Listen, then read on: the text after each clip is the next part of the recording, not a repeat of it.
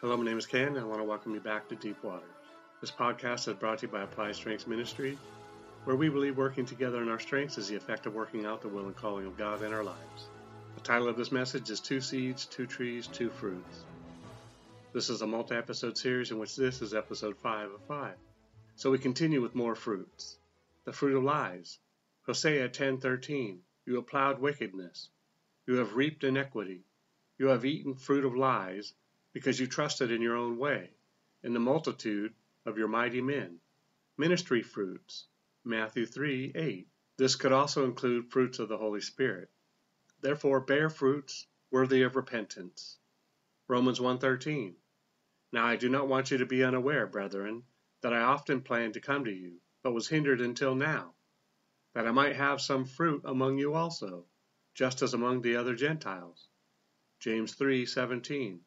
But the wisdom that is from above is first pure, then peaceable, gentle, willing to yield, full of mercy and good fruits, without partiality and without hypocrisy. Fruit of multiplied fruit. John 15:2. Every branch in me that does not bear fruit he takes away, and every branch that bears fruit he prunes, that it may bear more fruit. 2 Corinthians 9:10. Now may he who supplies seed to the sower and bread for food supply and multiply the seed you have sown and increase the fruits of your righteousness. Hebrews 12:11. Now no chastening seems to be joyful for the present, but painful.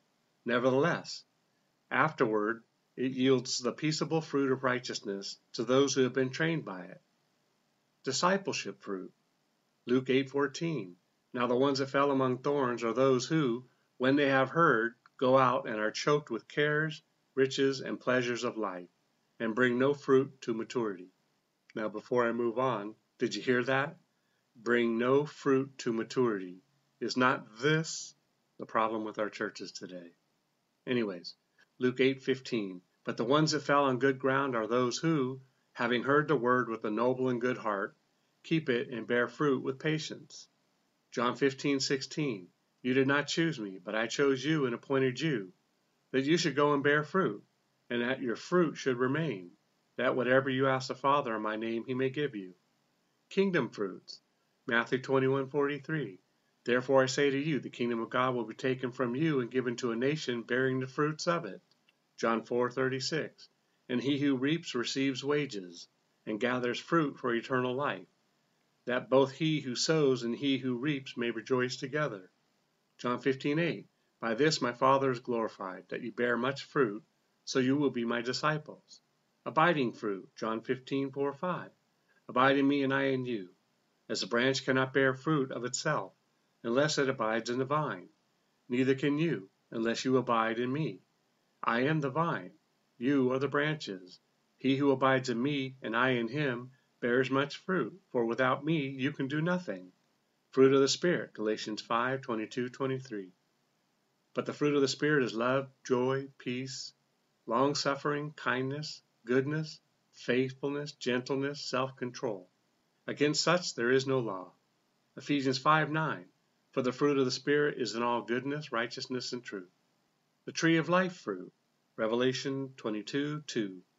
In the middle of its street, and on either side of the river, was a tree of life, which bore twelve fruits, each yielding its fruit every month.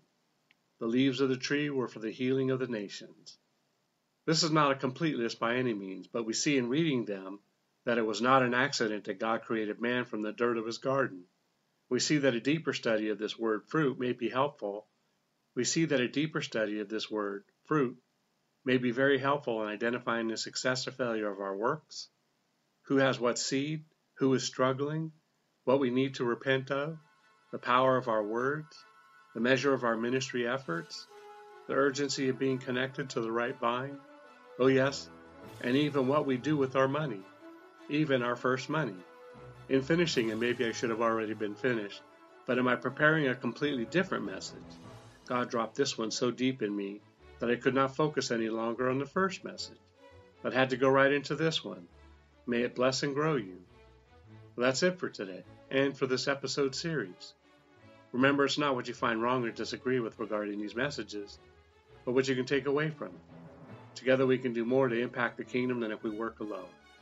Let's flip the script and kill, steal, and destroy the works of the enemy and create space for the light of lights to shine through into people's lives. Plant a seed and click on the like and subscribe button. Let's build this ministry together.